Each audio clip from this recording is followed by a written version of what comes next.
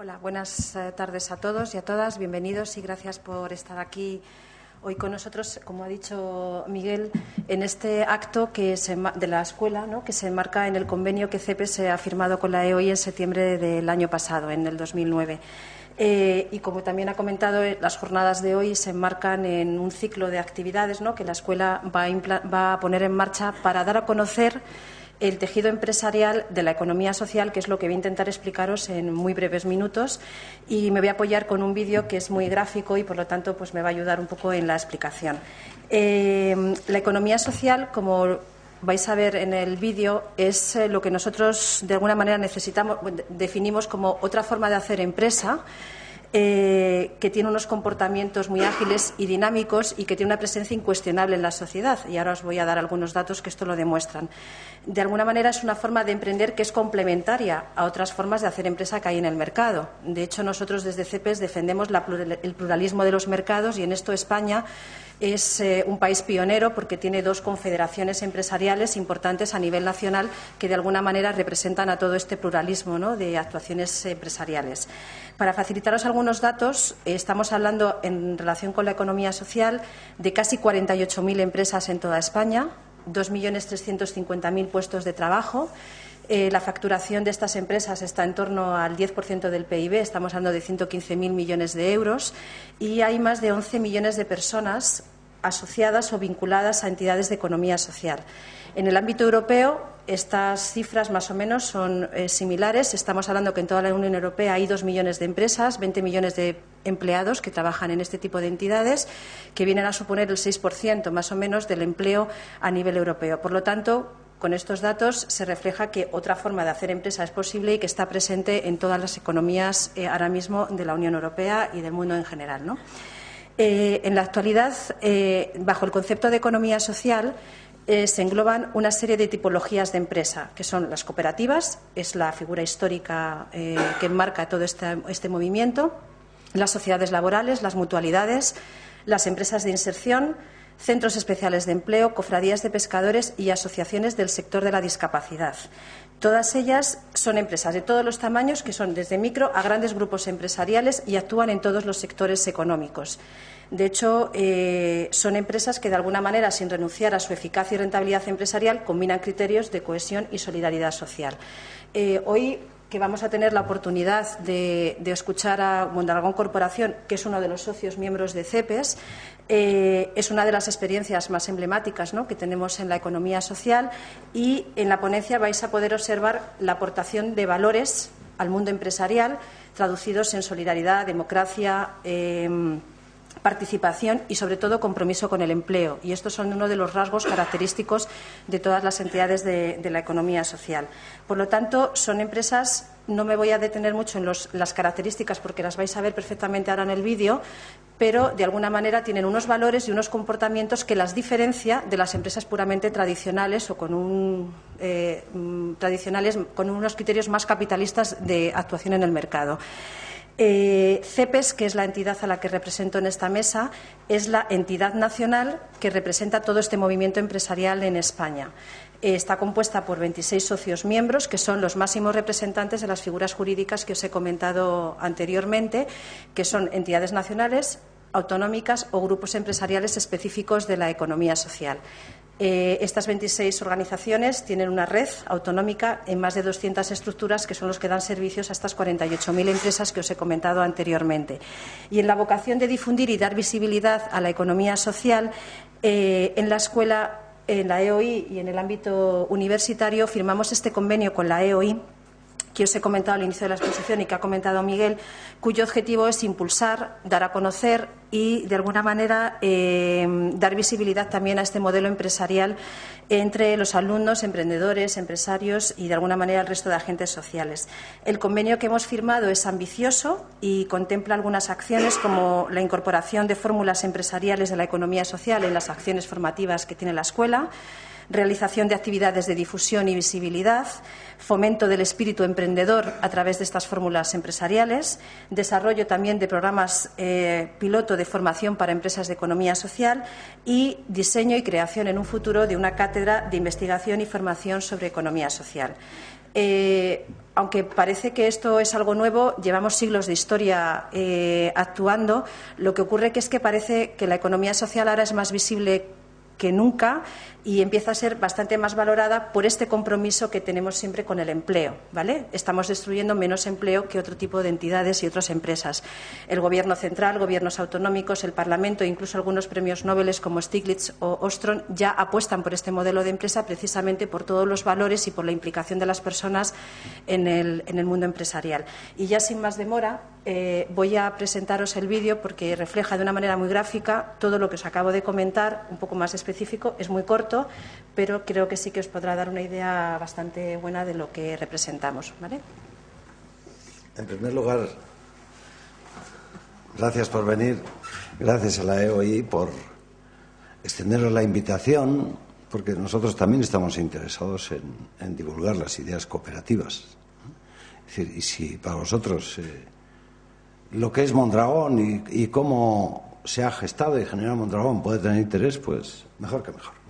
Bueno, en realidad el vídeo eh, lo que hacía era una presentación, voy a decir, semicomercial, donde se veían productos y esas cosas. Ahora, lo esencial de la conferencia es la parte hablada, que esa sí que la vamos a poder ver y las transparencias supongo que se pueden ver. Y sí, ya veo que ahí hay una, o sea que podemos funcionar. Es decir, eh, lo otro era una introducción para facilitar, sobre todo a aquellos que no conozcan nada de Mondragón, pues un poco para situarles en, contexto. Pero bueno, ya que ha pasado lo que ha pasado.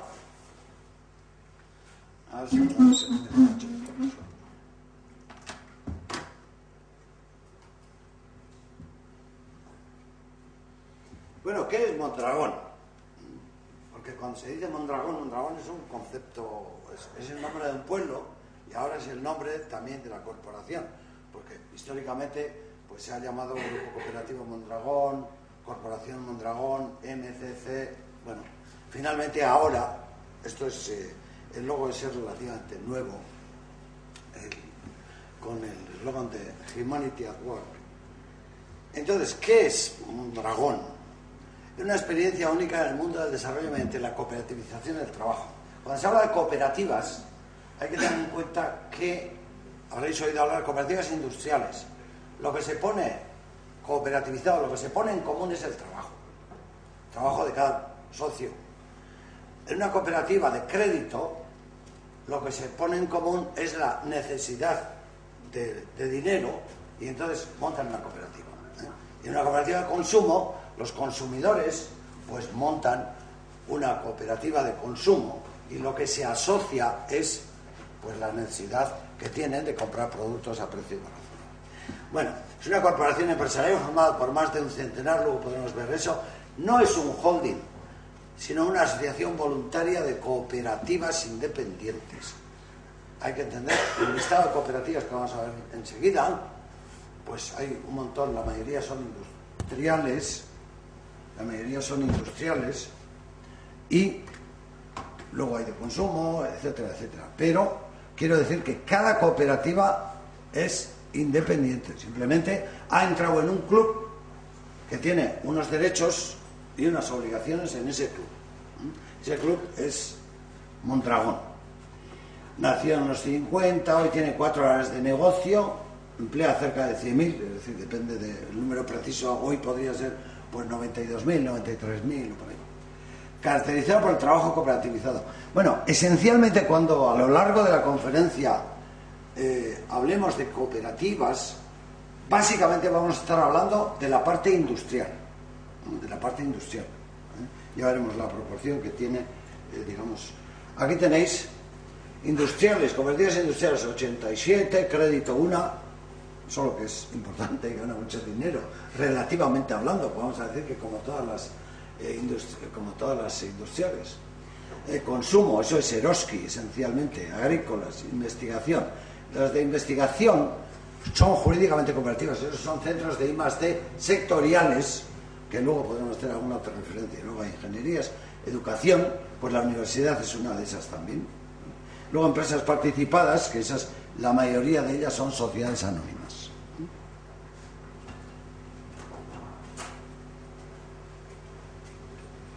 Bueno, ¿qué es y cómo funciona una cooperativa industrial?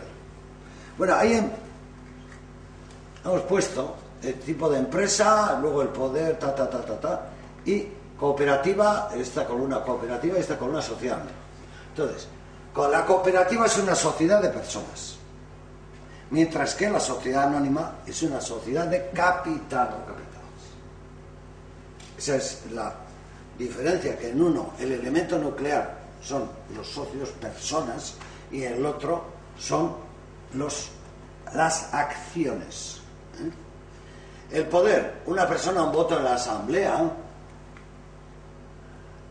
y hay también una acción, un voto en la asamblea.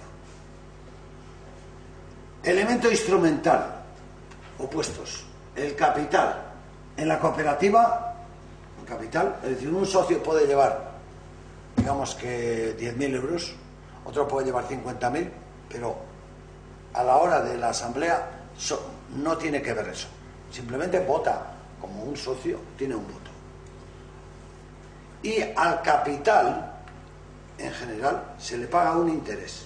Será mayor o menor en función de una serie de circunstancias. Pero, en cambio, en la sociedad anónima es al trabajo al que se le paga un salario. El elemento instrumental es el trabajo. Beneficios se distribuyen en proporción a los anticipos, bueno, en proporción a los salarios para que nos entendamos. ¿eh? se distribuyen en proporción a las acciones.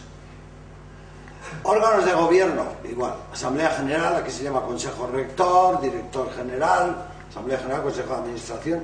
O sea, ahí no hay diferencias en, los nombres ni en el tipo de órganos. Y luego tenemos organización laboral prácticamente equivalente a cualquier empresa. Bueno, también en el mundo cooperativo ya llevamos tiempo haciendo pinitos de organizaciones más participativas en términos de gestión. Tema difícil, pero bueno, Irizar, eh, ya habéis oído hablar muchos de los que estáis aquí. Entonces, visto un poquito qué es una cooperativa y qué es una sociedad anónima, pues aquí tenemos la estructura de una cooperativa, es decir, pues ahí tenemos la Asamblea General, que es conocida a todo el mundo, el Consejo Rector, que es el órgano equivalente al Consejo de Administración de una SA, luego la gerencia la dirección general y las direcciones funcionales o las divisiones, lo que corresponda, pero igual, igual que en una sociedad anónima en términos generales.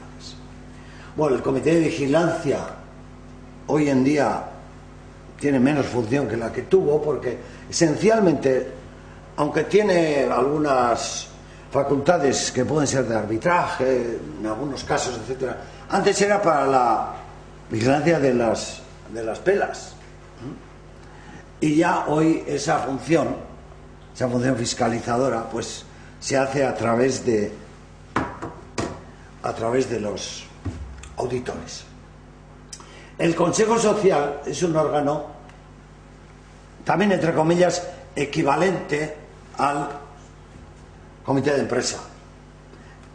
En la cooperativa se define el Consejo Social como el órgano en donde están representados los socios en su vertiente de trabajador, porque los socios, por un lado, es el socio de la empresa y por otro lado es el trabajador del puesto X. Eh, hay consejos sociales, eh, digamos, la mayoría de ellos en el mundo industrial son de naturaleza asesora. Hay algunos consejos, de todos modos, pues en la caja laboral, en algunos sitios, donde tiene algunas funciones de ejecución también. El consejo de dirección, pues comité de dirección, consejo de dirección no hay ahí. Ah, bueno, se me olvidaba. No me agradaría a mí, por lo menos, y creo que para la buena conducción de la conferencia sería mejor que si se os surgen dudas que levantéis la mano y preguntéis las cosas que queréis preguntar. Porque si no, dentro de media hora o, 40 minutos que acabaré yo, pues ¿qué va a pasar? Ya de estas cosas ya nos hemos olvidado, os habéis olvidado. Entonces, si os surge alguna cuestión, pues levantar la mano y preguntar, sin más. Bueno, etapas históricas de Mondragón.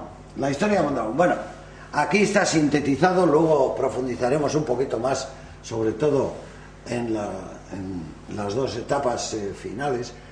Eh, la etapa de nacimiento, fundación que pone ahí, la etapa autárquica en términos de situación de España, ¿eh? de la economía española, de la política.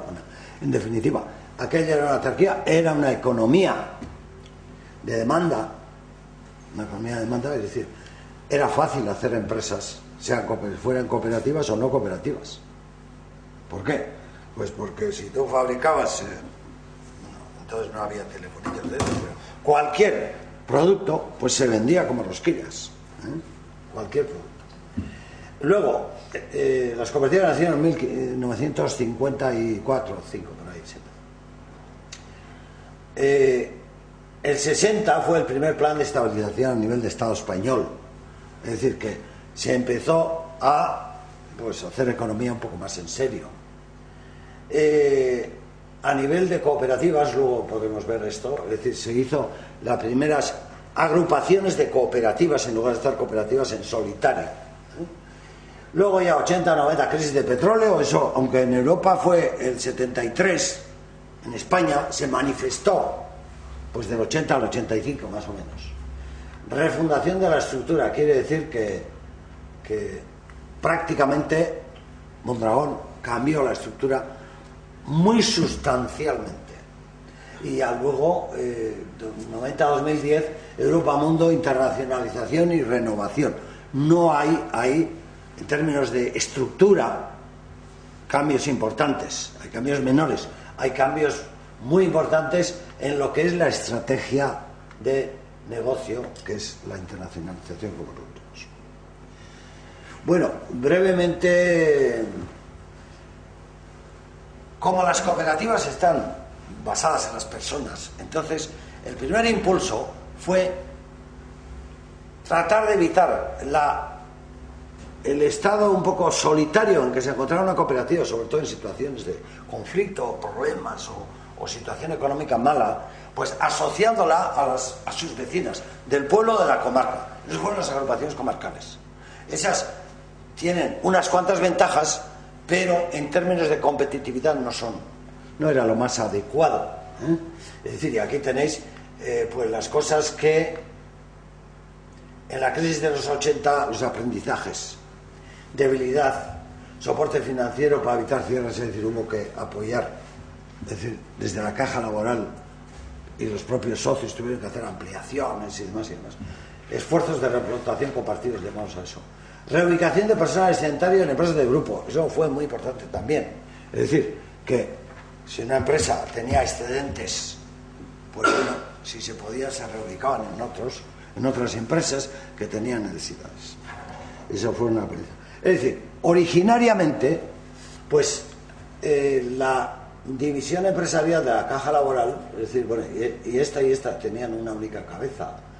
Es decir, las cooperativas tenían con el banco Caja Laboral un contrato eh, bidireccional, pero es decir, pero no había más salidas. Es decir, la Caja Laboral estaba obligada a financiar la cooperativa y la cooperativa estaba obligada a trabajar con la Caja Laboral. O sea, era el, inicio, y digamos en los primeros 20 eh, años más o menos funcionaría así. Luego la segunda etapa fue lo de los grupos comarcales, que eran estos, ¿eh? es decir, este era ya en los ochenta y tantos se hizo, por primera vez sustituir lo que era la caja laboral que ejercía de cabecera de facto, pero luego ya se hizo un congreso cooperativo que era algo así como pues el, Sanedrín cooperativo ¿eh? del conjunto. Y ya el año 91 se cambia esta estructura, esta que eran grupos comarcales, por esta otra que eran ya sectoriales. Esta fue una batalla muy, muy gorda, muy gorda porque, digamos, había mucha gente que no creía en esto y había otra, otra cuanta gente que sí creía y además era el signo del futuro, es decir, y con grandes esfuerzos se hizo el cambio. Se hizo el cambio y prácticamente, bueno, pues, eh, aunque de hecho eran el grupo industrial, el grupo de distribución, el grupo financiero, organizativamente, bueno, pues estos, digamos, en cada una de esas pues aquí podría haber 10 cooperativas, aquí habría otras 8, aquí, etcétera, etcétera. Dentro de cada una de esas había un conjunto de cooperativas en el grupo financiero, contra, hay, esos manejan mucho dinero, pero como número de cooperativas son pues la Caja Laboral y Lagunaro, el Lagunaro, luego más atrás veremos, pero es algo así como la que aporta una seguridad social complementaria, que luego comentaremos brevemente centros de formación, centros de investigación, que ahora a, a esto le denominamos área de conocimiento, a esto que hay aquí. Y grupo de distribución, esto es Eroski, que ya el año 91 ya había empezado la expansión, porque originalmente estaba solo en el País Vasco y ahora, como os he conocido, está en toda España. Bien, vamos a contextualizar, visto un poquito qué es eh, las bases o cuáles son, digamos, los sustentos. Se dice, Mondragón es una realidad socioeconómica de carácter empresarial con raíces culturales en el País Vasco creada por y para las personas, inspirada en los principios básicos de nuestra experiencia cooperativa. Cuando se dice principios básicos de nuestra experiencia cooperativa, prácticamente estamos hablando, prácticamente estamos hablando de los principios equivalentes al cooperativismo en el mundo. ¿eh? la Alianza Cooperativa Internacional tiene definidos pues la democracia, es decir, de no discriminación, bla, bla, bla, bla, bla, bla, una serie de, principios. Comprometida con el entorno, la mejora conductiva y la satisfacción del cliente para generar riqueza a la sociedad mediante el desarrollo empresarial y la creación de empleo, preferentemente cooperativo. Bueno, aquí se dice, bla, bla, y alguno alguna vez ha preguntado a mí, oye, ¿qué? ¿Vosotros no queréis llegar dinero o qué? Obviamente, obviamente, porque si no se gana dinero, desde una cierta perspectiva hay que decir que el fin de la empresa es generar riqueza. La riqueza va en términos de empleo y va en términos de beneficio. ¿eh? Es decir, la generación de riqueza no es solamente el beneficio. ¿Por qué? Pues porque la generación de empleo también es generación de riqueza. ¿eh? Entonces está basada en compromisos de solidaridad, muy importante, muy importante y que debo decir que las generaciones jóvenes a veces, pues eh, como esto está muy institucionalizado, pues ahora no se ve. Pero luego comentaremos un poquito más. Utiliza métodos democráticos, impulsa la participación en la gestión, propiedad de resultados, promueve la formación, aplica un modelo eh, aquí tenemos los valores corporativos, cooperación, propietario y protagonista. Bueno, eso es eh, la cooperación, pues sí, es un eslogan bonito. Eh, ser propietario y protagonista también, pero también hay que trabajar las ocho horas en la cadena de montaje a veces. O sea, quiero decir que, que eso tiene sus... Y muchas veces la dificultad, ¿dónde está? La dificultad está en que el ciudadano, pues no se sienta demasiado machacado, se siga sintiendo partícipe efectivo. Y esas son las. Eh, participación, compromiso en la gestión. Pero para mí nunca ha sido problema la participación, porque yo era actor principal, pero el ciudadano que está en la cadena de montaje, pues aquel no tiene tan claro eso. Y ese es el desafío y un problema empezaba a resolver y resuelto. Es decir, nosotros hemos resuelto la participación en la, en la institución, pero la participación en la gestión, eso es algo que está resuelto en determinado número de niveles, pero igual que en la SA. Pero en otros, especialmente en los niveles más bajos. Es decir, lo que hace falta es que el ciudadano se sienta comprometido en su puesto de trabajo y se sienta partícipe. Y organizativamente posibilitar eso, pues es un poco complicado. objetivos básicos, es decir, a la hora de la gestión, los objetivos esenciales que manejamos y los que,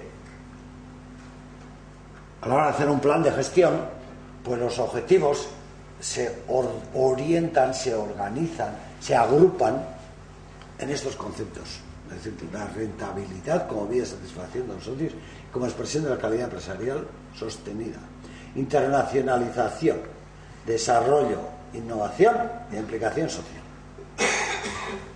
Eh, luego insistiremos un poquito más en internacionalización e innovación. Hablaremos un poquito más eh, al final.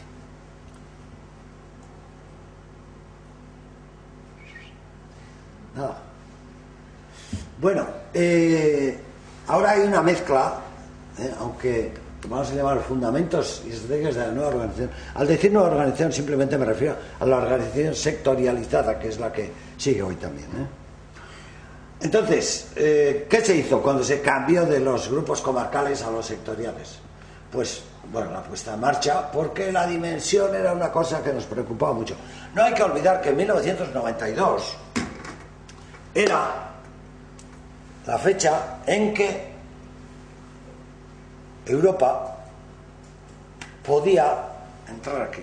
de hecho, España podía enviar todas las mercancías que quisiera y podía comprar empresas en Europa también. Pero Europa no podía hasta la total apertura. Es decir, tenía aranceles y también no podía comprar empresas. Entonces, todos teníamos mucho miedo, mucho miedo, es decir, a nuestra escasa dimensión, etc. Pero lo cierto es que eh, luego creo que se ve en algún sitio, pero nos curamos enseguida de eso. Porque Europa se trascendió enseguida y luego ya empezamos a preocuparnos del mundo. Porque, es decir, el desafío europeo, que llamábamos así además, pues se acabó enseguida. Es decir, aquello no nos mató y entonces ya empezó el desafío del mundo.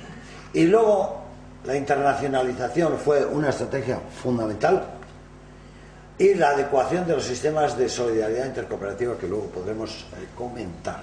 Pero fueron muy importantes. La reconversión siempre ha existido, luego explicaré qué es esto, y la creación de fondos de apoyo y de desarrollo. Bueno, internacionalización, estrategia clave.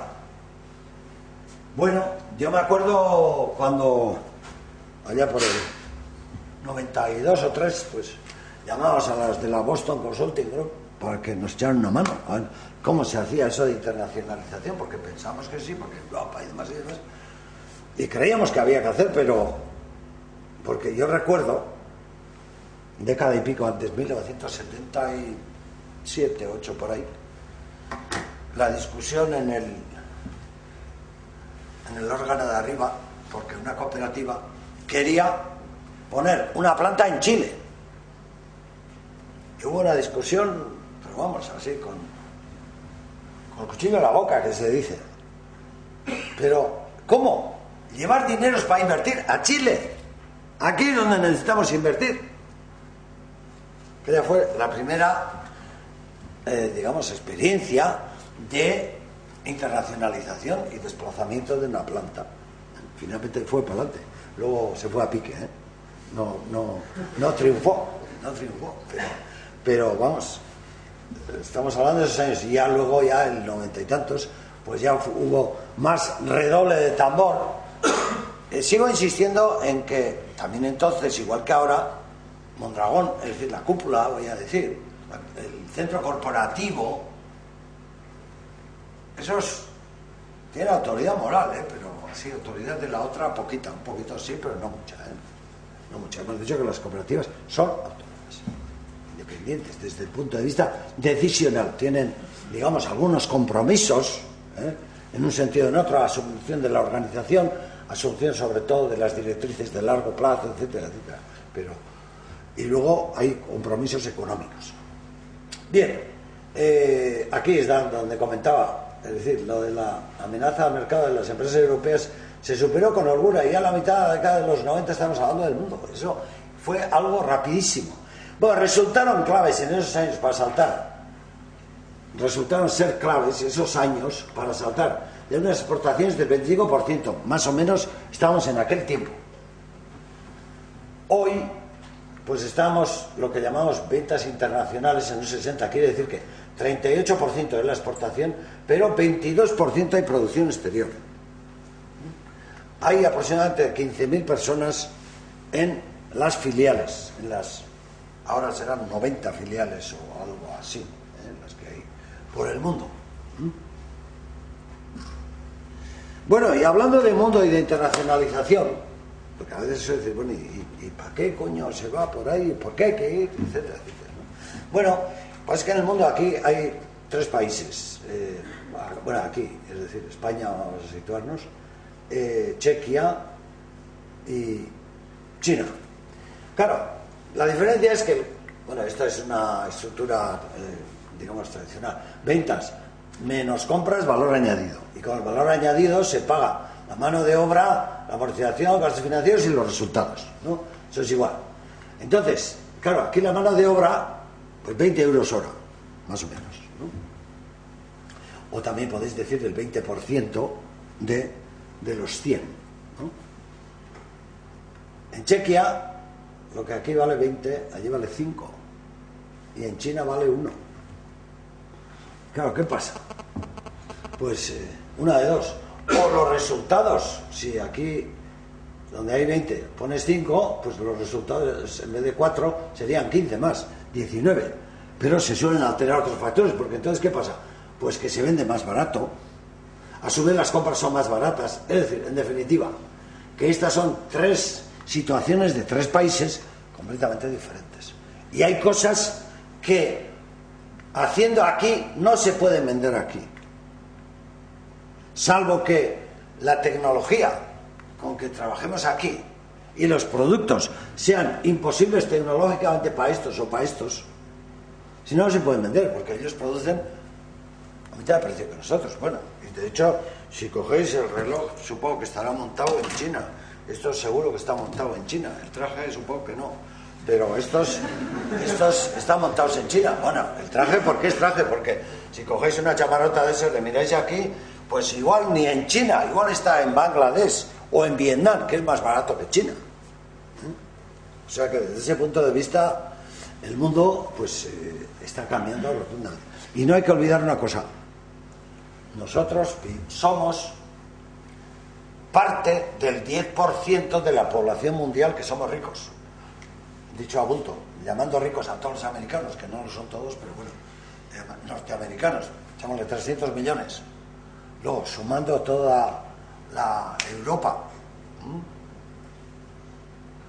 ¿cuántos hay? Pues 200 millones. Pues Japón, pum, pum.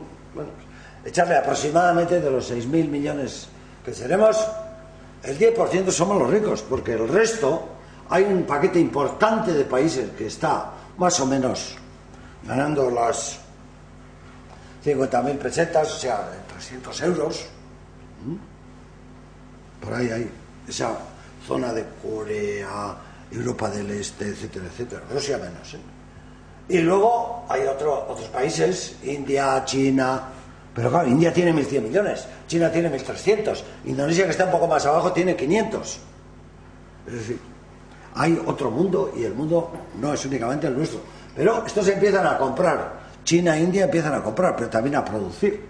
Y entonces, industrialmente hablando, en productos de valor añadido, voy a decir, medio o bajo, claro, si uno hace centrales atómicas, puedes seguir pagando en vez de 20, 40 también, porque no tienen más narices que pagártelo. Pero cuando estás haciendo cuchillos, pues no, ellos también saben hacer cuchillos y los hacen a la quinta parte del precio que tú. Y claro, ¿qué pasa? Cuando tú estás con un cliente global, traduzcas el cliente global puede ser automóvil, por ejemplo. Claro, el cliente global, los clientes piden, hablando de clientes globales, ¿eh? que no todo el mundo está metido en sectores globalizados. ¿eh? La banca dicen que sí, pero no es verdad. dicen que sí, pero no es verdad. Los seguros dicen que sí, pero no es verdad. Es decir, la administración pública obviamente menos. ¿eh? Es decir, hay algunos sectores globalizados. Entonces, en los sectores globalizados, pues, claro, el cliente pide esto, innovación, precio y servicio global. Pero claro, cuando dice servicio global, sí, sírveme en Tailandia, en eh, Brasil, en eh, Eslovaquia y en España. Sí, pero todos quieren a precio de Tailandia. ¿eh? Porque él tiene otro proveedor en Tailandia y tienes que competir con aquel. Y es eso. Bueno, pues esa es la problemática de la internacionalización, esa es la problemática bueno, aquí esto es Mondragón en el mundo. Bueno, ¿dónde estamos? Bueno, pues eh, estos son filiales internacionales.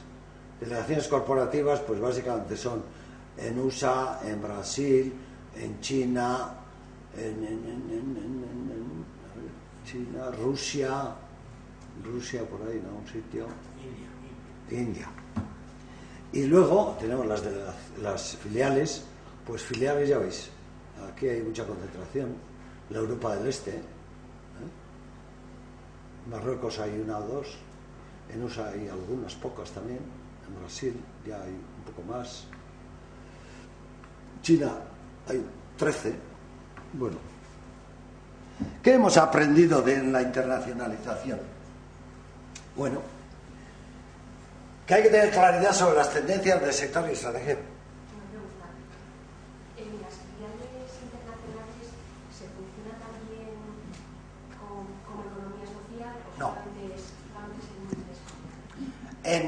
bueno, primero, primero, eh, bueno, el funcionamiento real. Luego, unos creemos más que otros en, en hacer funcionar como economía social. Pero no hay que olvidar algunas cosas. Primero, la economía social, tradúcase cooperativas, no en todos los países del mundo tienen buena imagen. Hay sitios donde sobre todo en economías colectivizadas, de las cooperativas huyen. ¿Por qué? Porque tienen malos recuerdos. Pero luego, a su vez, tenemos que, primero, conocer el país, hacer que la filial sea rentable, que, que cuesta años. Y luego empezamos, de momento estamos en la fase de, en términos de información y modos de gestión, hacer en las filiales lo mismo que en nuestras empresas. Luego, dedicar un, alrededor de un 30% de los resultados a mejoras de, los salarios por un lado y a su vez ayudas en educación, etcétera, etcétera. Es decir, distribuir, pero sin llegar todavía a eh, cooperativizar. ¿Por qué? Porque a su vez luego eh, esto se hará en los próximos 10 años, diría yo porque luego está el problema de cuando tú tienes una filial, si autonomizas esa filial, seas autónoma, si la autonomizas de verdad. Entonces, si no la autonomizas de verdad, es decir, todavía no tenemos resuelto cómo tenemos que hacer. Si tenemos que hacer una cooperativa con la filial, otra cooperativa con la matriz, y luego hacer una cooperativa entre ambas, no sabemos cómo hay que resolver. Porque cuando tú a esa filial le das producto, le das todo, es decir, no puedes de un día a otro decir, usted es autónoma ya, porque al día siguiente te puede competir. Entonces, esos son eh, temas que no tenemos resueltos. De momento, eh, insisto, es gestión, como aquí, información, como aquí, la información de la gestión de arriba abajo. Es decir, en eso nosotros decimos todo. Y a su vez, eh, una proporción de, resultados, de, beneficios, cuando hay pérdidas no, pero de beneficios empezar a distribuirlos. Pero todavía eso tardará bastante, tardará, ¿eh? por, lo que te digo, porque no, no lo tenemos resuelto ni conceptualmente todavía. ¿Contestado? Bien, ¿qué hemos aprendido? Bueno, que hay que tener claro, cuando uno va a ir o se va a internacional, hay que tener claro qué quiere uno, para qué quiere, hay que tener claro quién es la competencia, hay que tener claro, es decir, el mayor error que con mucha frecuencia hemos cometido las cooperativas y otras muchas empresas, pues es hacer movimientos sin conocer con claridad el mercado y la competencia. ¿eh? Es decir, eso es, pues parece mentira, pero es así. la adecuada integración de las implantaciones externas se sigue gestionando de otro modo el conocimiento del mercado, clientes, know-how. Es decir, ¿por qué? Porque enseguida saltas a otro ámbito diferente. Es relevante la internacionalización de las compras. Es decir, tú no puedes poner una planta en China sin que a su vez internacionalices tus compras. Para allí, para aquí, para todo. Es decir, la empresa empieza a sufrir, a los dos o tres años de poner una filial, empieza a sufrir. Empieza a sufrir el sistema de gestión. Empieza a sufrir el de calidad. Empieza a sufrir el de producción. ¿Por qué? Porque hay que atender aquello. Allí los clientes demandan otra cosa. A su vez, eh, queremos que la calidad sea homogénea. Es decir, en definitiva, la empresa tiende a entrar en crisis y hay que sobrepasar esa crisis, claro. Las implantaciones externas y las plantas de localidad son una escuela de directivos y ayuda a vivir la, la conciencia sobre la realidad. Es decir, porque muchas veces, si ahora está en la empresa, no ve. Cuando se pasa a una filial de una temporadita, entonces es como si se hubiese vuelto clarividente y clariaudi, no sé cómo se dice. ¿eh? Porque cuando se está allí y solo, allí se espabila y rápido. Es decir, si aquí tardas en madurar del grado 80 al 90, 5 años, allí eso se hace en un año. Allí estás tú, contigo y contigo mismo. Eh, la integración e innovación son complementarios para asegurar el desarrollo de las empresas y el empleo aquí. Es decir, hay que internacionalizarse, hay que innovar y hay que seguir ese camino aceleradamente. No hay más vuelta. Si queremos sostener parte del empleo aquí. Cuando digo aquí, digo a las matrices. Porque si no, salvo que tecnológicamente se esté muy diferenciado, no hay nada que hacer. Bueno, aquí eh, está esta anotación, porque en un tiempo con los periodistas siempre teníamos problemas, porque llamaban deslocalización, cuando alguien se iba afuera llamaban deslocalización, y eso es perder empleo aquí. Digo, no siempre. Hay mercados en los que haciendo aquí no se puede vender. Entonces, si uno quiere tener parte en ese mercado, tiene que ir a una implantación, es decir, que instalas en aquel mercado, en aquel país una planta y produces y vendes allí. ¿eh? Deslocalización, nosotros lo llamamos por lo menos, y este es más o menos los conceptos, puede variar el nombre, pero son universales, es cuando se traslada una planta a otro país porque aquí pierdes dinero hoy, mañana y pasado. Bueno, hemos hecho un repasillo, ahora un poco brevemente algunos números. Bueno, esta es la estructura de la corporación, los ingresos. Bueno, esto para que nos hagamos una idea, aquí no hay mucho 18 añero. Entonces, un billón de las antiguas pesetas. Esto. Y estos son billón y medio de las antiguas pesetas. Es decir, son mil millones, bueno, seis mil, serían seis mil millones de euros, serían eh, mil millones de las antiguas pesetas. Esto serían mil millones, he dicho, un millón de millones, un millón de millones, es el billón eh, europeo, español, no el billón americano. ¿eh? El billón americano sabéis que son mil millones que es el millardo de aquí. Bueno, área finanzas, pues también. Eh, personal. Bueno, ahí tenéis el número actual. Bueno, esto es datos de 2008. 2009 está cerrado, pero todavía no está puesto. 2009 ha bajado un poquito el empleo. También los resultados. Todo ha bajado el 2009. Es mal. Bueno, ahí tenéis. El área de industria ocupa 40.000, el 44% de gente. El área de conocimiento son pocos, pero bien amañados, como se dice. El área de distribución son muchos. Y el área de finanzas, pues son bastantes también. Son bastantes. Eh, adulto, dicho adulto, cabría decir que esto serán aproximadamente 50-50 machos y machas.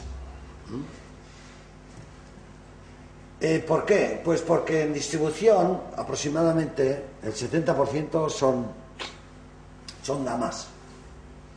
Aquí eh, más o menos a medias, conocimiento también 50-50. el área industria es al revés, ahí hay más masculino que femenino. Ahí tenéis distribución del empleo internacional, 16%, bueno, 15.000 números antes hemos dicho. Comunidad Autónoma Vasca, 40%, y el resto de España, el 44% restante. Bueno, breve semblanza de las áreas finanzas. Incluye el negocio bancario de la caja laboral y Laguna, entidad de previsión social de las cooperativas de Mondragón. ¿Qué hace el Lagunaro ese? Bueno, pues Lagunaro hace básicamente dos cosas. Uno, todos los meses, todos los meses, los cooperativistas meten dinero a Lagunaro para que cuando se jubile le dé una prestación complementaria a la que va a recibir de autónomos.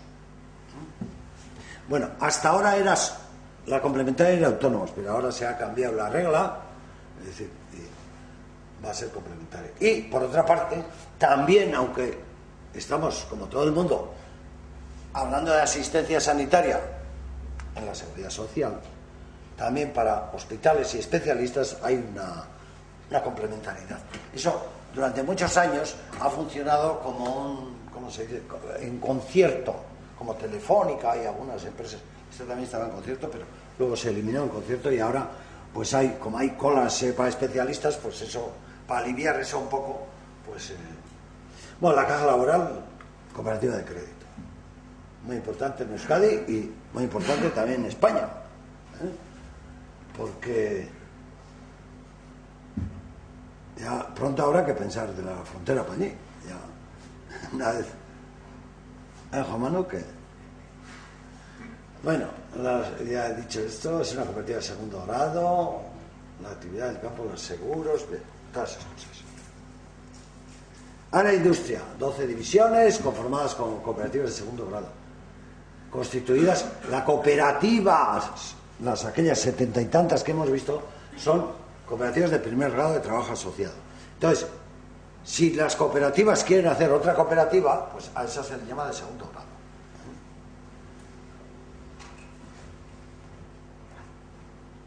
Bueno, estos son la proporción un poquito de lo que representan bienes de consumo, bienes de equipo, 27, 17 componentes, ya es la parte más gruesa, construcción, servicios empresariales. Esta es la parte fina, supuestamente. Aquí solo hay papel, iba a decir, pero ya papel también poco. Ahí solo soft. Área de distribución. Bueno, en el área de distribución, digamos que aunque aquí los cuadros, esto dimensionalmente, el grupo Eroski, eso es eh, el 90% y esto será el 10%. Bueno, eh, ¿qué cosas interesantes hay aquí? Bueno, esto que veis aquí, estos son filiales de, de, Grupo Eroski. Capravo, pues una cosa que se compró ahí, una cadena. Cecosa Hipermercados, estos son hipermercados y supermercados de marca Eroski. Eroski S.Coop es la cooperativa que es, voy a decir, la patrona, ¿eh? es el holding tenedor de, las acciones del grupo Eroski. Y luego aquí, pues Abacus, esto no sé qué coño es. Eden es. ¿Abacus qué es? ¿Eh? Ah, librería. Librería. Forum Sport, esto es pues, sport, productos de sport. Estos son perfumerías, etcétera, etcétera. Viajes. Y esta es una cooperativa, Ausolagun. Esa es una cooperativa muy curiosa. Esa es todo de tías. Casadas, mayoritariamente. Normalmente trabajan mediodía. Eso fue, pues, una idea inteligente de alguien. ¿eh? Que era, pues, facilitar, pues, la compaginación de algunas labores que entonces, por lo menos, hacían en casa más, eso ya tiene alguna antigüedad. Y hoy fundamentalmente se dedica a catering. ¿Mm? Esto es eh, preparar al día la friolera de 50.000 comidas o algo así. ¿eh? Y luego estos son cooperativas agroalimentarias. Esta es de. Esta produce en, en cubierta, pues todo lo que queráis, desde puerros, pimientos, tomates. Estos son vacas, estos es pienso, estos son conejos. Bueno, área de conocimiento, importante cosa. Importante cosa. Bueno, básicamente el área de conocimiento tiene dos áreas, una área de investigación y desarrollo y el área de formación, vamos a decir. ¿eh? Este es un elemento que también entre nosotros siempre ha sido importante, pero desde hace cinco o seis años pues se está enfatizando más y más y más y más. Eh, estos son los 12 centros dedicados a la investigación y desarrollo en campos específicos. Bueno, en definitiva, eh, ya he notado antes que son centros de I+D sectoriales, no todos, pero la mayoría.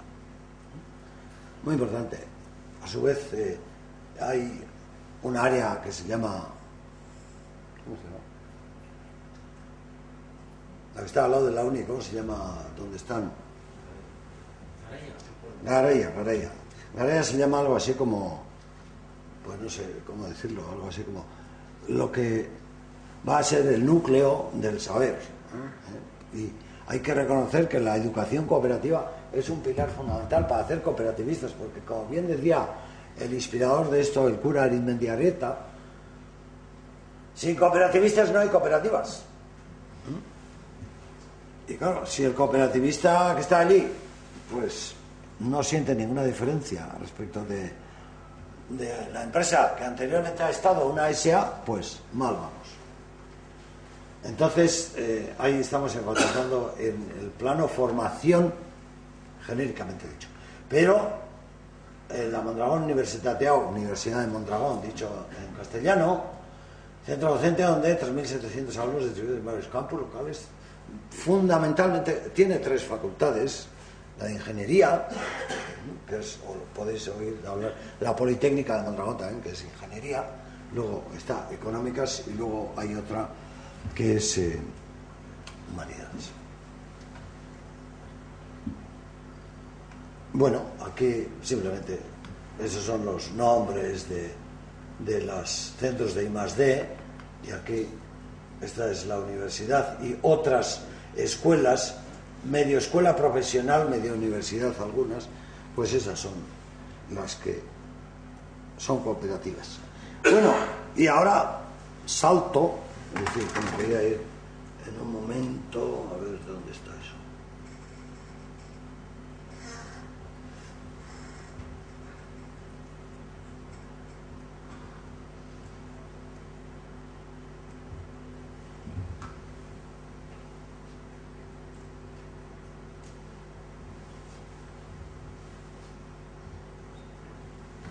Bueno, esto hemos visto antes. He dicho antes que bueno, estas sean las cuatro grandes etapas. Ya estamos hablando de esto, es decir, internacionalización hemos hablado y renovación, es decir, que los grandes cambios fueron aquí, en el 90, 85, 95 fueron los grandes cambios, es decir, algo así como darle la vuelta al calcetín, ¿eh? Darle la vuelta al calcetín. Luego fue la internacionalización como gran estrategia. A su vera iban otras cosas, pero esencialmente gran estrategia. Y ahora estamos en un proceso que vamos a ver en un cuadro que tengo ahí que se dice cómo compite Dragón hoy.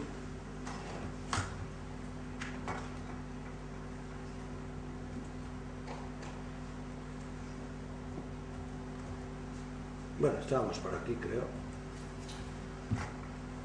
Bueno, renovación, digo. Los años del nuevo milenio. No se ponga nervioso nadie que acabamos entre 5 y 10 minutos. Los años del nuevo milenio, en lo que a Mondragón se refiere, pueden ser caracterizados como de renovación. Así, tras la constatación de los cambios que se están produciendo en el mundo y que podríamos sintetizarlos a nuestros efectos en cómo, cómo sentíamos esos cambios del mundo. Bueno, crecientes dificultades de competir, especialmente en productos industriales de poco valor añadido. Bueno, nosotros y nuestros vecinos, todos. Deslocalización de producciones, nivel educativo creciente de las nuevas generaciones. ¿Eso qué significa? Es decir, si ponemos esas tres cosas juntas y uno se pone a reflexionar, decir, los productos que tengo, tengo dificultades de competir. Puedo salvar la empresa, pero para eso en muchos casos tengo que llevar los empleos allí. Es decir, deslocalizar las producciones. Por otra parte, la gente que se produce, entre comillas, producir en las universidades y en las escuelas, cada vez viene con más conocimientos. A eso lo puedes llevar a la cadena de montaje tradicional. Bueno, y entonces de ahí que, de ahí que se adoptaron nuevas estrategias conducentes a enfatizar la innovación. ¿Por qué? Pues, pues que hay que innovar, porque si no innovamos no podemos sacar nuevos productos, no podemos mejorar los que tenemos y no podemos mantener el empleo que tenemos potenciar la creación de empleo local cualificado, cualificado. Definir nuevos sectores de desarrollo, bueno, pues esos son eh, eh, telecomunicaciones, salud, energía, telecomunicaciones, salud, energía, pero en definitiva eh, sectores que entendíamos que, ahora no que nos podían dar un empuje para los próximos, en los próximos 20 años la adopción de un modo de gestión más participativo. Esto se relaciona con lo que he dicho antes. Al decir modelo de gestión, ¿qué estoy hablando? Pues algo así como eh, buenas prácticas directivas, eh, podéis llamarlo del modo que queráis, ¿eh? pero en el fondo, en el fondo, nosotros pensamos y creemos, lo que no tenemos muy claro es que tenemos que hacerlo.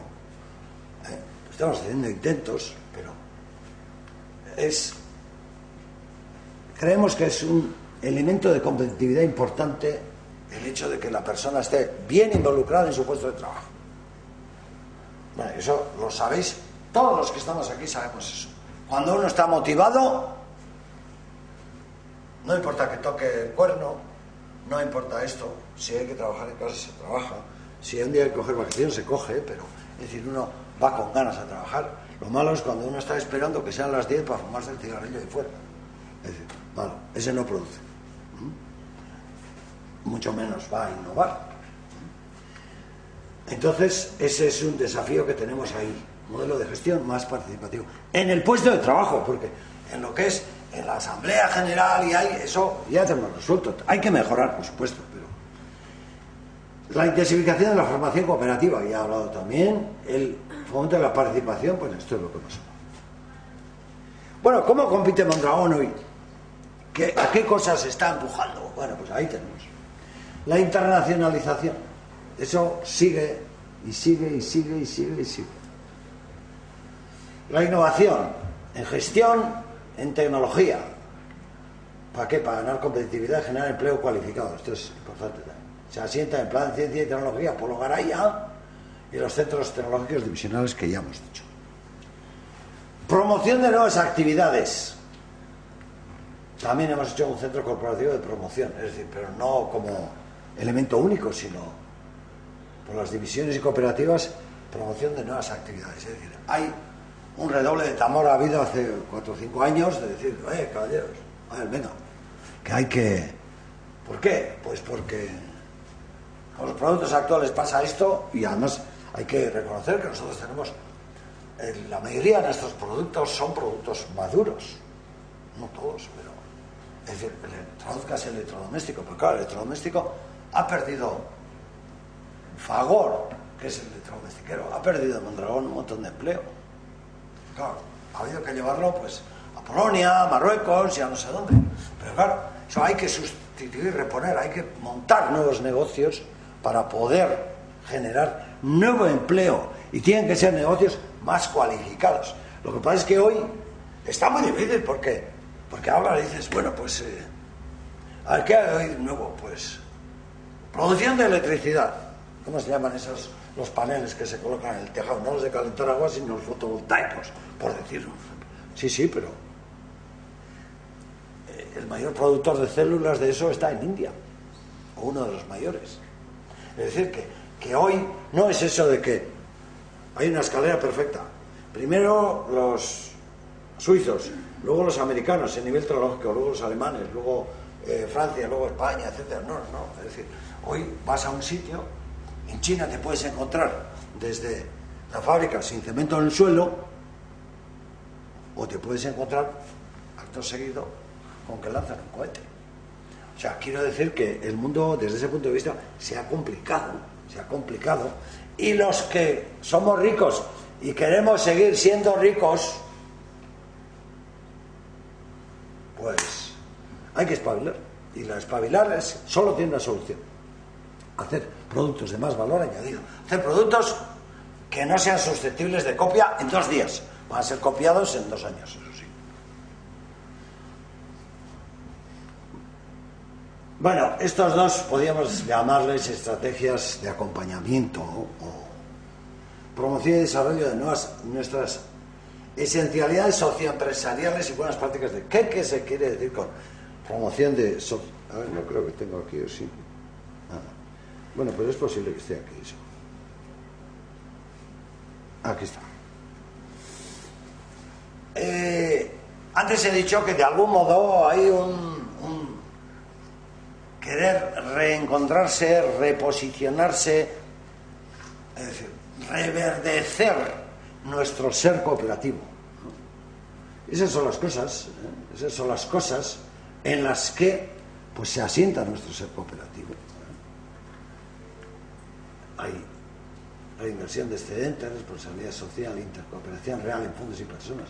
Es decir, no he mentado, pero la intercooperación real en fondos y personas. He hablado de reconversión antes.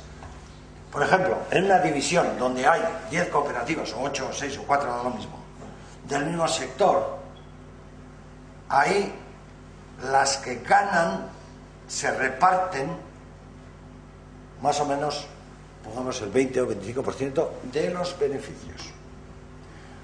Primero se tapan los números rojos, si los hay, de alguna. ¿Eh? esos son elementos de solidaridad institucionalizada.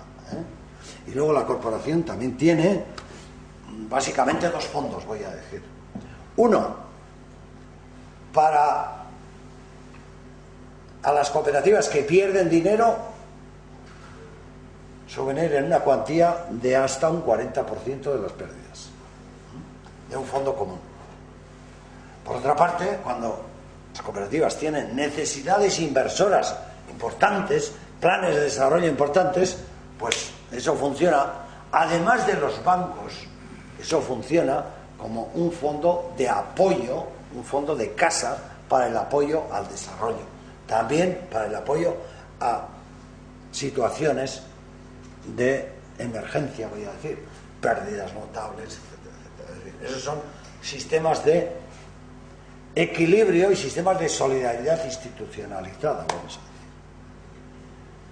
Muy bien, y yo con eso pues podemos pasar a lo que queráis vosotros. Muchas gracias por mi parte.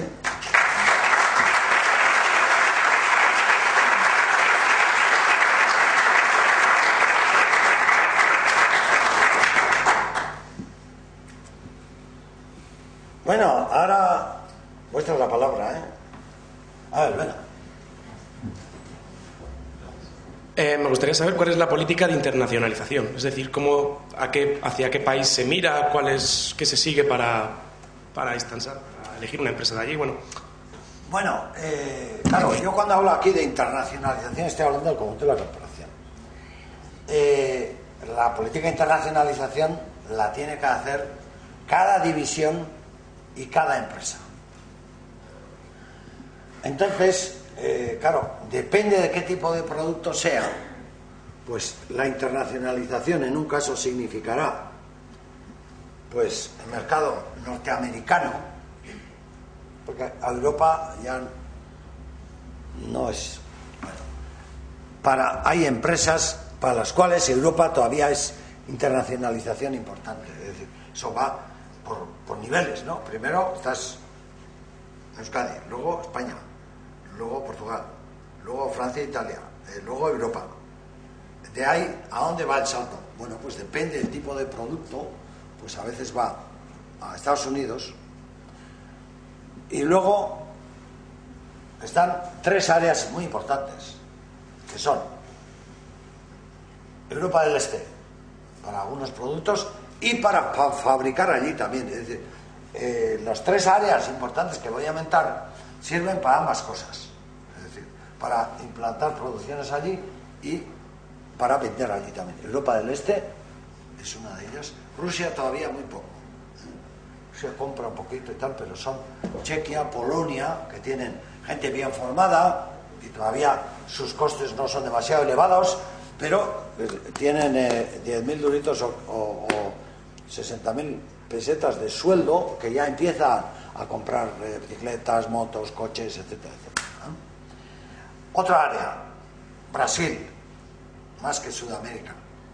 América en general no hay mucha cosa. Brasil, porque Brasil tiene 150 millones de consumidores.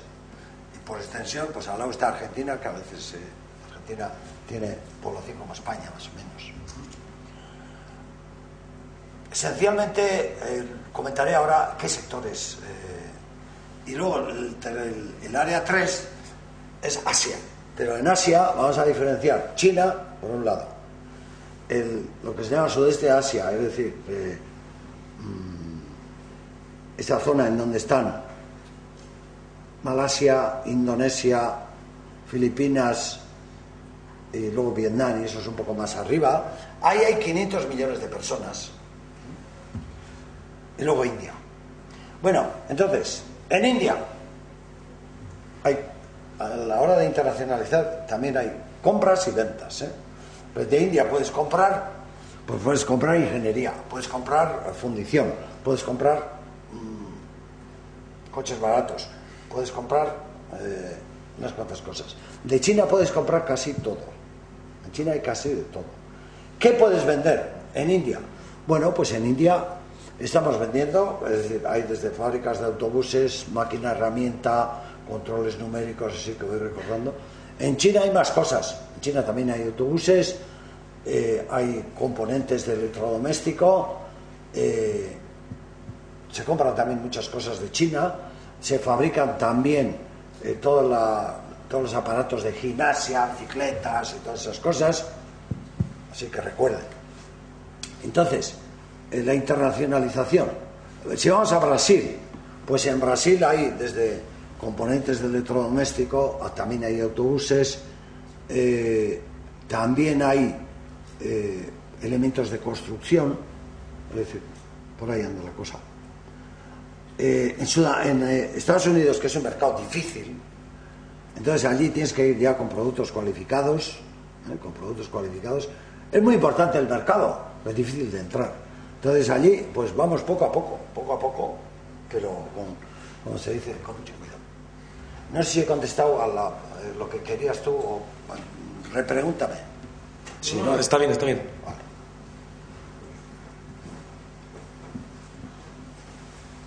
Aquel, aquel la ha levantado primero. Venga. Ya te oigo, ¿eh? no te preocupes. Vale. Eh, a mí me gustaría saber, desde el punto de vista de la emprendiduría, eh, ¿Tienen definida alguna política para aceptar a nuevos cooperativistas? ¿Es, una, cooperativa abierta? ¿Emprendeduría has dicho? Sí, por ejemplo, si a mí me gusta... ¿Emprendedores? Sí. Bueno, eh, esto, eso funciona también, digamos, como un centro en donde puede haber emprendedores. A su vez, eh, las cooperativas. Claro, el emprendedor, cuando tú dices emprendedor, estás hablando de uno que quiere hacer algo o de uno que va con el pan de decir, yo quiero hacer esto. Ya, quiero decir que hay, si uno quiere emprender sin más, pues eso es un poco más complicado. Un poco más complicado porque eh, hace falta tener, el emprendedor se supone que tiene que tener una idea de qué quiere hacer.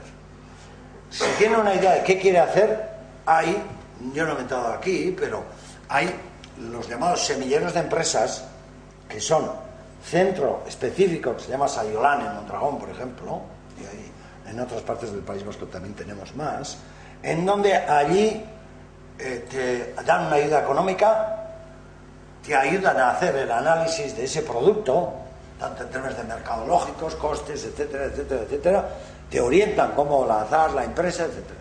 Esos son los semilleros de empresas que los hay varios. ¿Contesto a la pregunta? Sí, sí, claro, yo me, me refería a eso. Si yo, por ejemplo, tengo una idea y aprovechando la estructura que ya hay montada en Mondragón, pues pudiera tener algún tipo de soporte. Sí. Además, no está, esos semilleros no son eh, exclusivamente cooperativos. Quiero decir que, aunque se les empuja para que hagan cooperativas, no todo el mundo, no todos los emprendedores lo hacen. Algunos hacen sociedades anónimas o sociedades limitadas, lo que sea. Bien, gracias. Tengo dos preguntas. Una, eh, cuando se produce un proceso de integración, por ejemplo... Sí, tengo dos preguntas. Cuando se produce, por ejemplo, un proceso de integración entre un modelo eh, societario de economía social de una empresa del grupo Mondragón con una empresa, digamos, de, digamos, de economía capitalista más tradicional. Por ejemplo, me, me refiero en concreto a la integración, imaginemos, de Capravo en Eroski. ¿Esos procesos originan algún tipo de, de fricción o algún es, es decir, ¿cómo, cómo es la integración de un modelo de sociedad, de, digamos, tradicional capitalista Capravo en un modelo de integración de este grupo? ¿Cómo es eso? Muy complicado. Sí. Bueno, mm, en algunos periodos eh, yo he conocido procesos de cooperativización de empresas que han estado unos cuantos años en crisis. Por ejemplo, Orbea, que seguramente conoce mucha gente, bicicletas Orbea. Eso es muy complicado. Muy complicado, pero complicado. ¿Y por qué es complicado? Pues porque los ciudadanos tienen ya unas estructuras mentales en donde todo jefe, con perdón, es un hijo puta. Y claro, empieza así el tema y al igual que eso, pues claro, luego están eh, sindicalizados. La no hay sindicatos. Y entonces, darle la vuelta a eso, históricamente ha sido complicado. Los- las experiencias más recientes han sido mucho más suaves. Mucho más suaves porque hoy la gente, pues, es más consciente de lo que le aporta una cosa, lo que le aporta la otra, y hoy han sido más suaves. Hablo de las industriales. Eroski. Bueno, Eroski está metida en un proceso de cooperativización de todos sus trabajadores. O sea, porque de, de los 50.000, no sé cuántos tenía Eroski, hay más cuarenta y tantos mil, que hemos visto cuarenta y tantos mil. ¿no? De esos cooperativistas son como 10.000 en números redondos, de la cooperativa Eroski. El resto son de los MER son sociedades anónimas. Entonces, ahí hay un proceso de cooperativización en marcha, que no sé cuántos años durará eso. Cinco años, por lo menos. Capravo supongo que es parte de eso, pero en una segunda fase. Y, muchas veces en estas historias uno sabe dónde ha empezado. Dónde va a terminar no siempre se sabe. Pero en general, en general siempre hay eh, un elemento clave, como en todo. Si hay grasa, la cosa funciona. Si los resultados son decentes, casi todas las cosas funcionan. Lo que pasa es que a veces, pues se pierde dinero. A veces, pues como ha tenido que hacer Eroski, el año pasado, pues bajaron sus ingresos mensuales en un 10%. Y no sé si trabajan más, supongo que sí. Y claro, esas cosas, ahí es donde, en esos momentos es donde hay que estar bien amarrado a los machos y hay que tener los conceptos, el cooperativista tiene que tener los conceptos claros.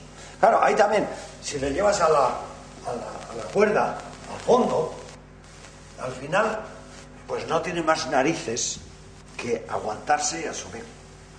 He contado antes una anécdota que recuerdo yo hace algún tiempo, pues hay en la crisis de los ochentas que hubo muchas quiebras y muchas ampliaciones de capital y demás. En una cooperativa me acuerdo yo, yo estaba aquí arribita.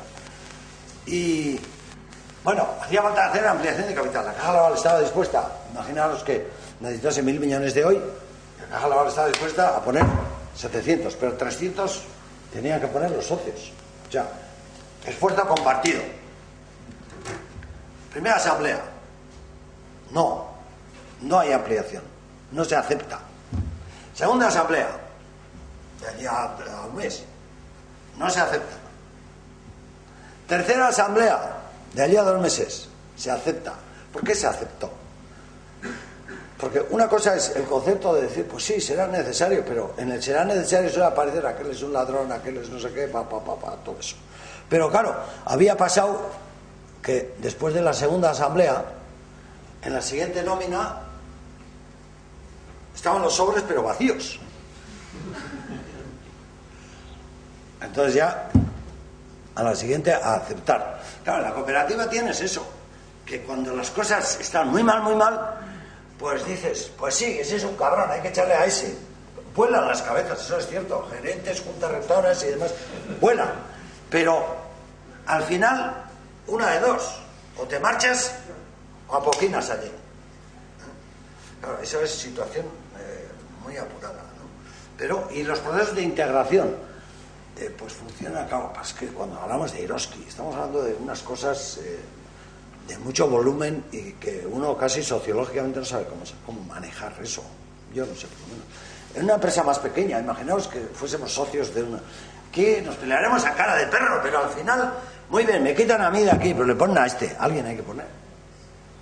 Y las cosas, cuando están en el tope, pues funcionan.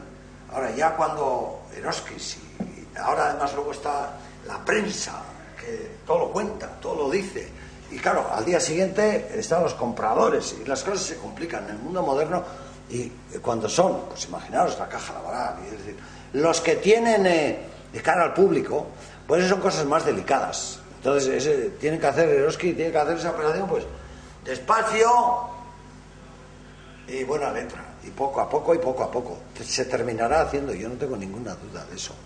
Porque no se puede seguir indefinidamente diciendo que eres cooperativa teniendo el 70% de tu negocio no cooperativo. No se puede. Es incoherente. Son unos años porque no sabes ni qué es lo que tienes que hacer, porque tienes que preocuparte de la estrategia del negocio, pero eso tienes que terminar resolviéndolo. ¿no? Y la resolución va en el camino de hacer los socios. Luego, el cómo, cuántas sociedades, XX, pero ¿Contestaba sí. lo que quería? Sí, sí, sí, yo creo que sí. Y, y luego la, una segunda pregunta. Eh, yo, yo, creo que estos valores de, de economía social, en el, la participación en el capital, en la gestión, en los resultados, yo creo que son realmente muy atractivos. Pero, por ejemplo, luego ya estoy pensando en el, en el chavalote, en el ingeniero que sale de la Escuela de Ingenieros de San Sebastián.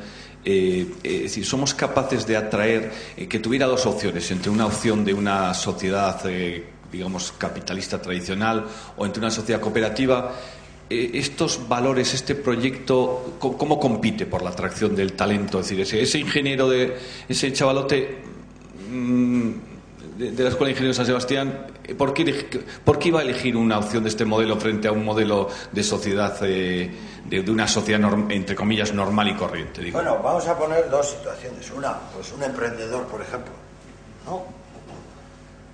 Todavía hay gente que funciona no solo por las pelas, es decir, que funciona con ideales, también hay gente. A ver los hilos, como se dice. Y luego pasa una cosa, es decir, en el País Vasco, en líneas generales, en líneas generales, insisto, y sin ofender a nadie, las cooperativas son empresas más modernas, también más jóvenes en términos generales, y más brillantes y con mejores resultados. Es decir, y aunque el abanico económico es más estrecho en la cooperativa, bueno, pues hoy todo el mundo entra dos sueldos en casa, etcétera, etcétera. Es decir, no es, no es tanto. Además, eh, ya el ingeniero está desgastado hace mucho tiempo. Entonces, hoy no, está, hoy no es complicado eso. Eso fue complicado en algún momento, pero hoy no, no hay problemas para eso. En la caja laboral supongo que tienen economistas eh, con la grapadora en la mano. ¿O me equivoco? ¿Me equivoco? No me equivoco. Y eso pasa en, allí y aquí.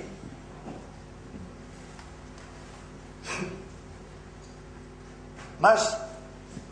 Otra. Hola.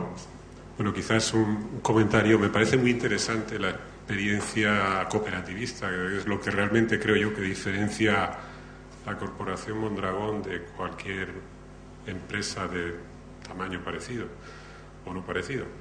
Eh, lo que me sorprende a mí un poco es el, la diversidad que tienen ustedes, ¿no? Porque esto, el apoyo que tienen a la innovación, por un lado, por otro lado tienen empresas de I+D, pero de muy alto contenido tecnológico, formación, universidad. No veo yo muy bien cómo se casa esto con un Eroski, con, con fabricar electrodomésticos, no sé, se dedican a cosas de lo más variado. Quizás eso también es propio del carácter de cooperativa, no sé. No, eso tiene una explicación. Y la explicación es muy simple, además. Pensemos que cuando se empezaron a hacer cooperativas, una primera cosa era no hacerse la competencia. En consecuencia, el otro grupo de gentes de otro pueblo que quería hacer una cooperativa, pues no podía hacerla para, para competir a otras cinco cooperativas que ya existían. En consecuencia, de origen tiene la dispersión. Porque eso de que la estrategia de concentración en un producto y en un mercado, y pues esas cosas son más modernas. Quiero decir que cuando se empezó, pues eh, claro, luego la sectorialización en el fondo es un intento, un remedio de poner a las empresas que están en el mismo sector juntas para que tengan dimensión. Dimensión, pues europea, mundial, para que tengan dimensión. Pero claro, eh, nosotros no somos especialistas en nada. En nada, salvo en cooperativas. Pero hablando en producto mercado, pues somos muy dispersos. Muy dispersos. Y, no, no tiene solución eso ya. Es decir, bueno, además tampoco nos ha ido tan mal. Pero no tiene solución, ya no tiene solución. Es decir, y, y la caja laboral, bueno, pues eso ya son sectores diferentes, ¿no? Caja laboral, Eroski, bueno, pero Eroski, el origen de Eroski, te lo digo en medio minuto, eran cooperativas de consumo del pueblo A. Imagínate que aquí en Alcobendas pongan una cooperativa de consumo, en el otro barrio, en el otro, otro, otro, otro. Y en un momento dado, como las tiendas también empezaron a mejorar, pues no podían competir bien. Y entonces, a su vez, se dijo, joder, hay que asociar esto. Entonces, ¡prum! se suman todas y hacen Eroski. Y Eroski originalmente estaba en el País Vasco. Pues claro, oye, te voy a decir, Eroski en relación al competidor grande mundial, que es Walmart americana, es aproximadamente 20 veces más pequeña. Eroski tiene cuarenta y tantas mil gentes y está por toda España, por todas partes. Y será un quinto de Carrefour. Y Eroski se ha desarrollado así como cohete y todavía tendrá que seguir desarrollándose porque ese sector exige dimensión. Y tendrá, en Francia tienen un poco, pero pronto habrá que saltar eh, más para allí. Pero en la industria, pues hay sectores, el electrodoméstico, por ejemplo, pues el electrodoméstico competimos con mucha dificultad. Competimos con mucha dificultad. En España, sí, somos primeros en España y en Francia, pero el mundo es muy grande. Nosotros tenemos electrodoméstico la cuota de Europa, pues del 6%, por ahí. Hay gente que tiene 25% del mundo, Electrolux, por ejemplo. Es decir, que los sectores, máquina, herramienta, cambio, pues ahí estamos bien a nivel español, por supuesto, eh, europeo y, mundial también. Es decir, hay sectores en los que estamos muy bien situados, pero en otros no tanto, nosotros somos más enanos. Pero bueno, ahí es donde también, si quieres salvar el, cuello, pues tienes que trabajar la innovación. Y, eso cada día estamos más convencidos. Todavía tenemos mucha inercia, ¿eh? estamos empezando a, acelerar el paso, ¿eh? a acelerar el paso y tenemos que acelerarlo más. Los centros de, de I+.D. como Ikerland, por ejemplo, eso cómo, se casa con la filosofía de cooperativa. Ikerland, eh, Ikerland es una cooperativa también. Ikerland trabaja para las cooperativas y para no cooperativas, porque Ikerland está subvencionada en el entorno del 50% por, el, por la administración pública, por Madrid y por Vitoria. Pero Ikerland trabaja bajo proyecto, es decir, tú vas, empresa, tu empresa, vas a Ikerland y le dices, oye, ¿me puedes tú, yo quiero hacer este desarrollo, o quiero sacar un producto eh, para esto?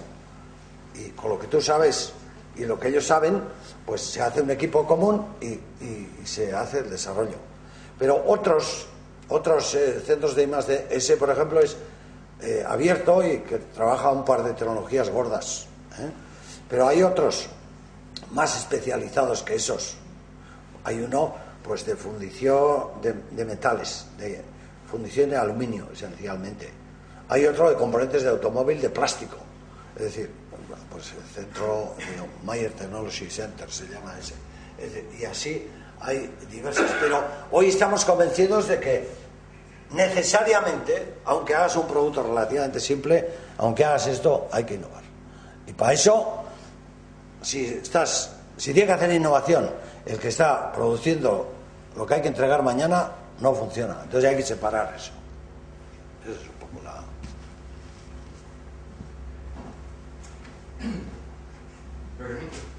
Primero, gracias.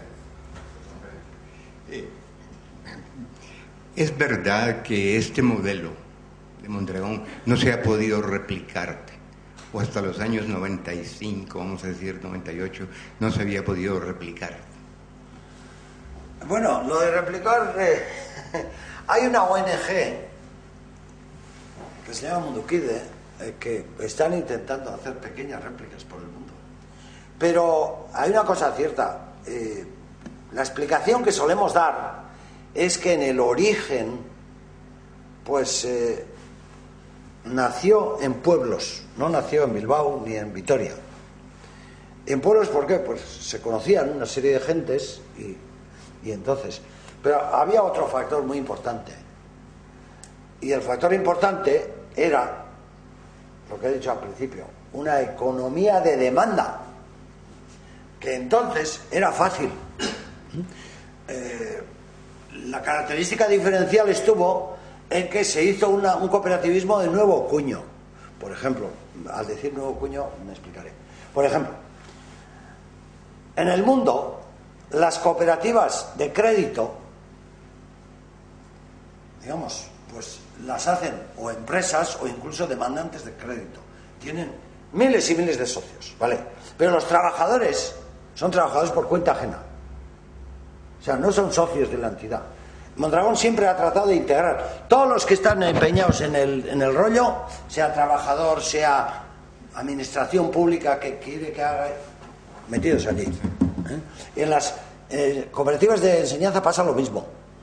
En las cooperativas de enseñanza, lo tradicional que ha sido, pues si hacen una cooperativa de padres, que hacen una cooperativa de enseñanza, contratan profesores y mandan a los hijos. Pero los profesores son trabajadores por cuenta ajena. En las cooperativas de Mondragón no. Los profesores son socios, los padres o los estudiantes si son mayores son socios y las entidades públicas que quieren enseñanza también son socios, es decir, metidos allí.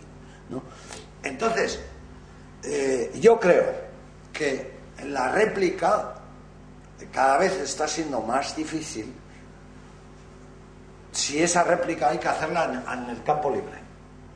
Al decir campo libre me refiero Oiga, queremos hacer una cooperativa aquí o allí o allí.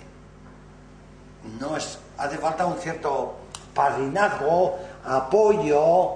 Es decir, eso en Mondragón o, en el mundo Mondragón, voy a decir, pues todavía se da, pero tampoco salen cooperativas todos los días. No somos capaces de sacar cooperativas nuevas todos los días. Porque las cosas se vuelven complicadas, porque tú quieres que este empleado este director de X de una cooperativa, queremos que, bueno, este nuevo producto, y le ponemos aquí. Sí, pero ese dice, oye, pero ¿qué? Me lleva a la intemperie, tengo que estar ahí. porque eso si va mal, si va peor, más todavía. Y, tiene complicaciones.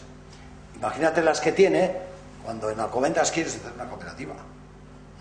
Y luego suele pasar otra cosa, que los que pueden querer hacer la cooperativa, voy a decir, sin peyorativizar, 20 de buzo, 20 personas de buzo, ¿entiendes qué quiero decir con buzo? Entonces, claro, necesitan luego tres ingenieros para eso. Claro, allí lo que fue posible fue que en el grupo había los dos, los de buzo y los ingenieros. En, en aquella época, del 54 al 80 y tantos, pues fue posible. Hoy es un poco más difícil, un poco más difícil. Allí también es más difícil, pero puestos aquí en el campo libre es más difícil todavía. Pero hoy, hoy en cambio hay una cosa que no había antes. Hoy hay dinero abundante para financiar empresas, para ayudar. Tiene esa ventaja. A poco que, que sean profesionales. Luego hace falta que el que tiene la idea, el llamado promotor, pues no quiera todo para sí, que quiera, que quiera, digamos, hacerlo en cooperativa. Eso significa que si la idea es brillante y funciona, él va a ser uno más. Mientras que si la hace él solo, aunque el riesgo en un momento dado será mayor, pues luego el beneficio también es mayor para él. Porque no hay que olvidar otra cosa, que el mundo que estamos viviendo es un mundo más insolidario y más individual que el que era hace 30 años y hace 40. Eso dificulta las cooperativas. Dificulta. Muchas gracias.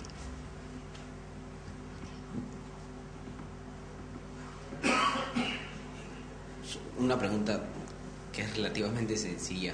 Eh, ¿Qué pasa cuando una cooperativa que pertenece al grupo está uno, dos, tres años con números rojos?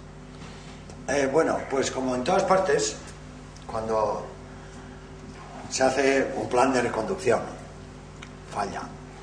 Pero si pierde mucho, para empezar, se hace un plan y se le dice, bueno, la corporación, antes la caja lavara, la hora esa función está escrita en la corporación, le pone dinero y le dice, socios, a poner dinero aquí. ¿Cuánto hay que poner? Hoy en día, para entrar en una cooperativa, la aportación es el equivalente al sueldo de un ciudadano común de un año. Ponle 14.000 euros. ¿Mm? Entonces, puede que no tenga que reponer los 14.000, porque ya los ha perdido, si la cooperativa ha ido perdiendo, pero puede que tenga que poner 7.000, o 8.000, o 10.000, o 20.000, pero hay que poner. Entonces, si aún y todo termina no saliendo, si después de poner un par de veces vuelven a perder, pues se cierra la cooperativa. Eh, siempre se procura, y se logra casi siempre, porque no son muchos casos, el que a las personas se les pueda ubicar en otras cooperativas. Y las pérdidas, ¿quién las asume? Las que quedan ahí, pues un poco los proveedores, otro poco la caja laboral o el banco que tenía, los socios ya han perdido hasta los calzoncillos. Y una pregunta adicional, cuando uno de los asociados, o sea, porque yo, he visto eso, eh, trabaja dentro de la cooperativa y no es eficiente, se le despide. Bueno, mm, hombre, vamos a decir que, que de facto no, el sistema no es tan, tan rudo como pueda ser, pero bueno, ineficiencias hay en las sociedades anónimas también. Pero pero se le despide o se le medio despide o se le baja el sueldo.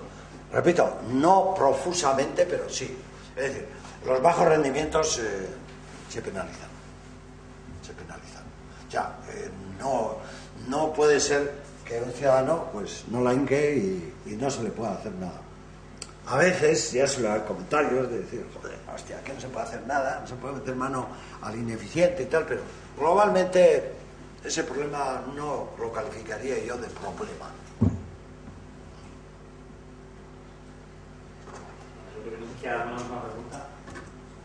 Entonces, agradecer a José Luis su presencia hoy aquí en la escuela. Comentábamos al principio que hace ya 30 años que estuvo por, por nuestro opinar, por nuestras aulas. Espero que ya podamos tener aquí con mucha más frecuencia.